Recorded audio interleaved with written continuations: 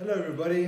Um, okay, so naturally, if you travel quite a bit, there, there will be a few things that sort of become essential for your, for your travel needs. And I've got about a couple of things, two or three things that I always carry with me on any particular trip, um, whether it be from a traveling point of view or to have out in the field. So I'm gonna I'm gonna mention a few of those things to you. And the first thing I always carry with me is noise cancelling headphones. Now, believe it or not, when I'm traveling, um, I'm not the kind of person that if I sit next to you, I'll start making random conversations. So I prefer to go in a bit of a zone when um, when I'm when I'm traveling, especially when I'm when I'm flying.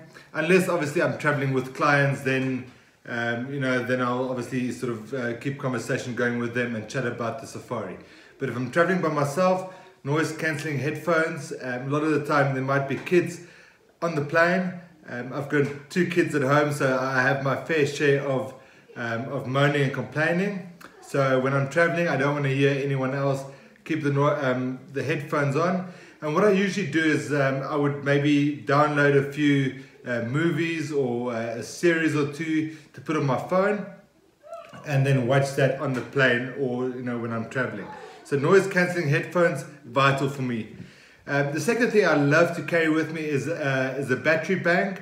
So this is a, a, a snug battery bank and it's great for when you're traveling to be able to charge your phone. I can also charge my GoPro with this. So very, very handy to, to keep with me. I think I get about maybe five or six um, charges on my phone. So, you know, whether I'm in a vehicle, I can keep my phone charged or even on the plane as well. So very, very handy, always stays with me. And then um, another thing that I always um, travel around with, and this is more sort of in the field, is a kikoi, or also known as a sarong. So very popular in East Africa. Uh, and these things are great. You know, you can either sort of wrap yourself around it. This is quite a big one actually. And uh, recently I used um, this to also cover my camera, which I love to do. Just keeps the camera dust free. So very easy, got your camera, just wrap it around and um, that keeps it free from, from dust and then also you can keep this out of your camera bag and um, your, your camera then doesn't sort of get, get scratched or gets dust on it. So kikoi or a sarong, very, very important. Also like to carry a, a beanie with me as well. And that has got a similar sort of purpose. If I take the kikoi off, with, uh, with the beanie you can then just wrap, wrap it around your camera like that and it also just keeps your camera nice and, and dust free. Obviously now with winter coming up, beanies um, also come in very handy for obvious reasons. So beanie will stay with me um, on any particular travels. Talking about camera bags, um, personally I love to use this f-stop bag. So this is the uh, um, edition. Very, very cool bag. Lots of space. Um, on numerous safaris, I carry two, even three lenses with me, two camera bodies, um, laptops, and then obviously these things that I mentioned, my noise cancelling headphones, um, battery bank, all those things go with. So very, very handy, amazing camera bags if you're looking for a good um, camera bag. And it also fits in the overhead compartments, which is, which is great.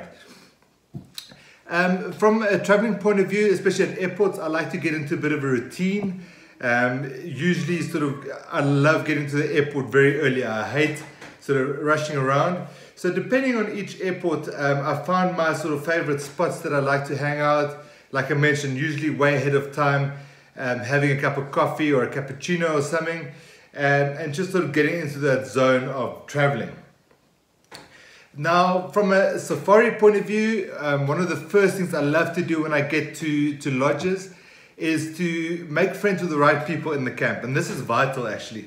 So um, there's three people I really want to get um, get to know well, and the first one is the manager or the person that, that runs the show, and that's sort of for obvious reasons. You know, if I'm not happy with something or my clients are not happy with something, I like to deal with one person, and I like it to be sort of the top person, um, just to, so you don't sort of go through different channels.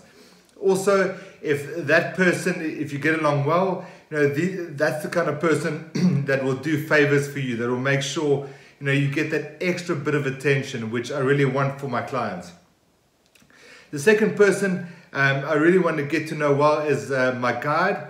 So I would uh, sit down with uh, our local guide and just give them a bit of a brief on, on what we're looking for. If we're going to multiple destinations, I'll give them a rundown of what we've seen, just so we don't go and stop at another impala or another zebra or something like that. So we have a, a set goal um, at each destination that we go to. And then the third person is the barman. Um, I, I, love to sort of um, get to know the, the barman quite well. They, they're usually guys that um, have got a lot of character, full of jokes. But um, the, I'd like to give them a rundown of each of my clients. So usually the guests that I travel with, um, I get to know them very well, get to know what drinks they enjoy, and also even then, you know, just making sure that they get a drink in their room if uh, if need be. So yeah, those are the three people I really like to to get to know in a camp. Something for me that is an absolute must on any safari is sitting around the fire. I absolutely love it. For me, a safari is not a safari if there's not a fire going. So, um, and each evening I try, even in the morning sometimes as well, depending on the, on the destination. I'd love for the camp to have a fire going and encourage my clients to, to sit around the fire. I think that's when true friendships are made and it just gives you a sort of um, a real sort of feeling of being in Africa. It gives you time to soak up everything that's around you. So a campfire for me, if there's no campfire, um, it's not a safari.